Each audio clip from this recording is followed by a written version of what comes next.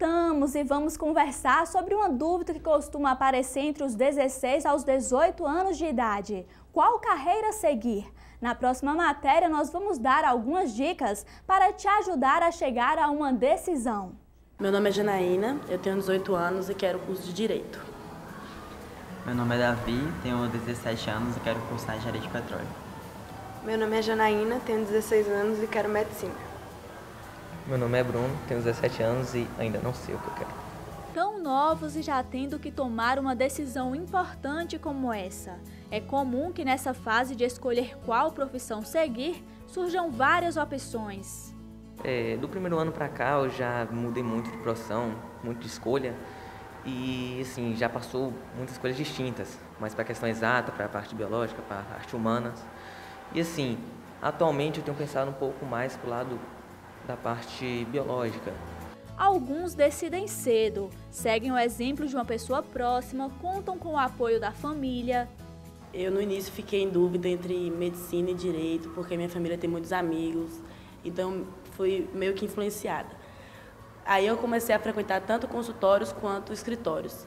Fiz muitos testes vocacionais e também todo mundo falava: não, Jana, você é mais pro lado de direito e tal. Meus pais apoiaram bastante quando eu falei, olha, é isso que eu quero. Meus pais, não, tudo bem, a gente vai te apoiar, a gente vai te ajudar.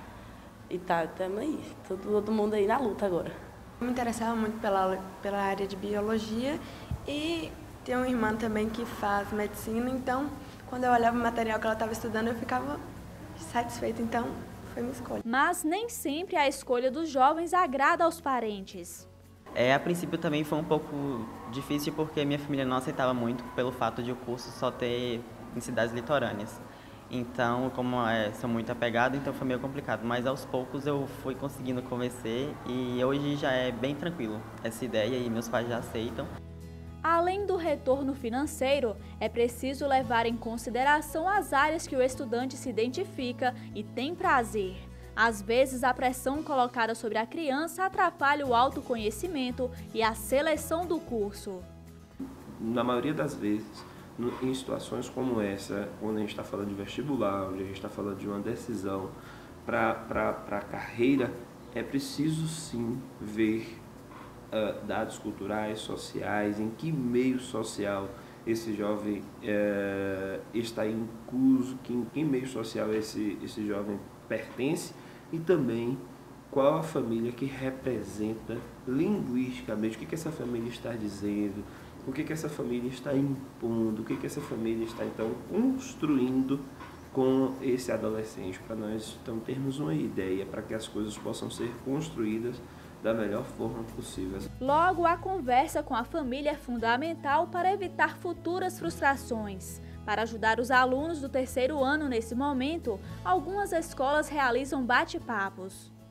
E nós fazemos um trabalho em que, junto com os alunos, eles escolhem as profissões que eles pensam em exercer no futuro e a gente traz os profissionais até aqui para que possam fazer mini, mini palestras. Dentro dessas palestras, os profissionais falam um pouco de cada profissão, né, a profissão escolhida, fala em relação à remuneração, os pontos positivos e negativos, e fazem, fazem com, que, com, que, com isso a ajuda, né, dão ajuda aos alunos para que eles possam decidir a profissão que eles devem escolher.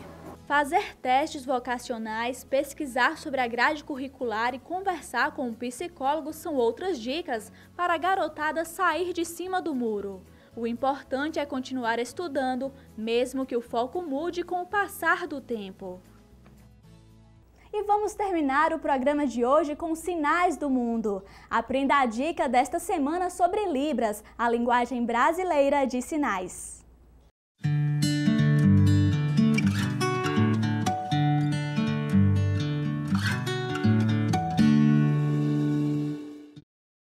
Olá, estamos de volta com mais um programa Sinais do Mundo para vocês e hoje iremos aprender sinais relacionados a profissões.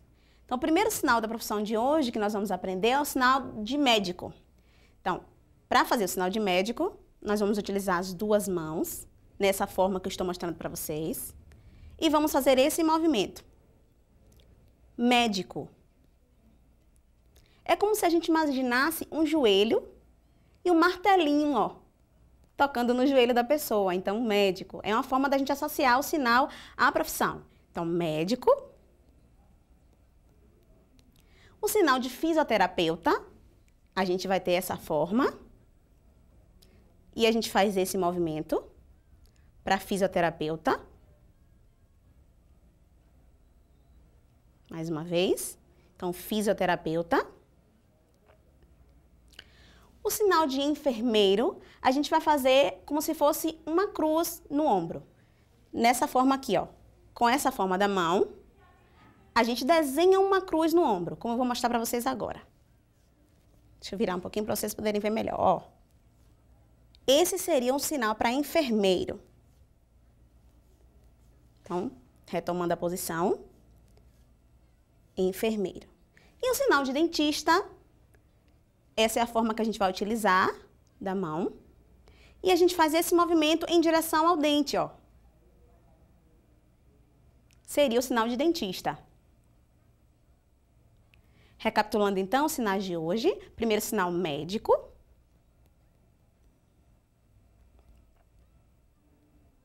Mais uma vez, médico. Segundo sinal, fisioterapeuta.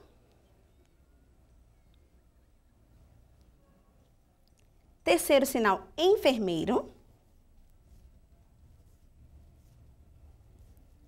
E quarto e último sinal, dentista.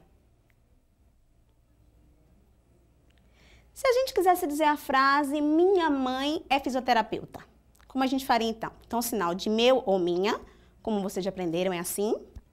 Sinal de mãe, que vocês já sabem também, mãe. E o sinal de fisioterapeuta que acabamos de ver hoje é esse aqui. Então, como ficaria a frase em língua de sinais? Então, minha mãe é fisioterapeuta. Mais uma vez.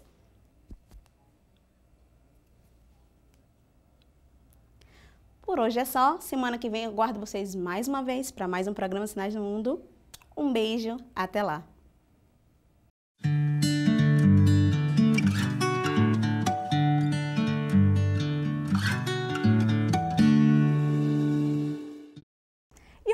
Universitário fica por aqui, mas semana que vem a gente está de volta. Se você quiser rever o programa, é só acessar nosso canal no YouTube. E se quiser nos enviar um recadinho, anote aí o nosso e-mail. Tchau, tchau e um super beijo!